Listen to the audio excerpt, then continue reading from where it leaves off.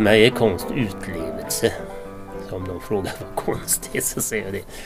Jag tecknat har jag väl alltid gjort. Ritat och kluddat och sånt där. Men, eh, och då hade jag ju den sagolika turen att träffa Arne Isaksson.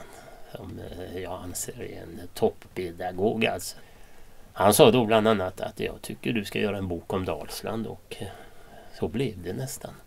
Sen gick jag igång ordentligt så jag gick ju grafik på Öland två somrar. Och någon annanstans också. Jag gick i skulptur i Östergötland och sådär. Så att det, jag tyckte jag skulle behärska hela fältet någorlunda. Men så är det så här för att arbeta med det så måste man ju ha ateljéer, man måste ha grejer och så vidare. Så att till slut så blev det det att det enda som passade akvarellen, den kan jag ha i fickan, inget mer. Och jag kan sitta vid detta lilla skrivbord.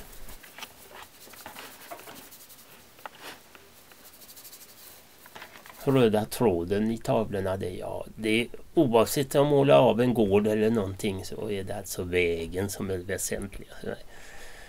Och sen så har jag ju eh, alltid varit fascinerad av tåg, det vet jag. Jag tycker eh, och det är ett väldigt konstigt påstående men ett landskap utan en järnväg är för mig ett dött landskap. Man ser inte det där spåret som leder någonstans. Det är lite romantik det där egentligen.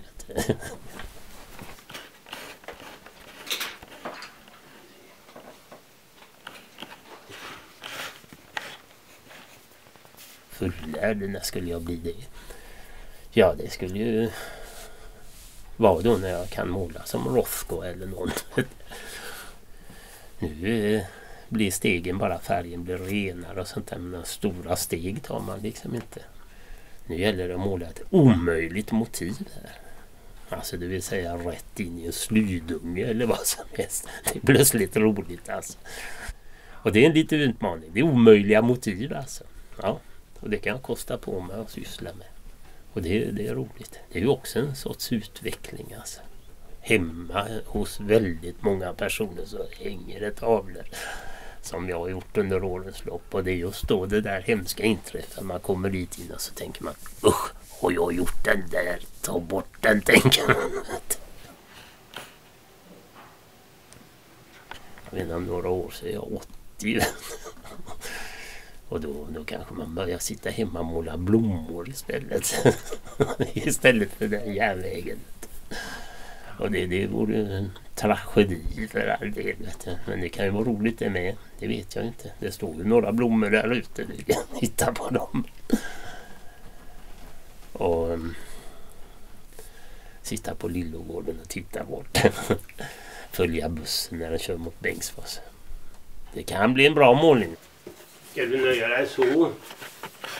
Oj! Det är nästan någon grekisk över den. Kemikalier får man alltid vara försiktig med. Ja, det är, lite... ja, det är bra. Nu klarar han sig. Ja, nu ska jag faktiskt ställa ut och det...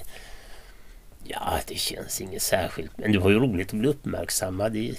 Få hänga ut i biblioteket sådär. Det är fint. Sådär. För där är ju mest kända artister, erkända artister som hänger där uppe. Och erkände jag väl i Färgelanda men inte för övrigt.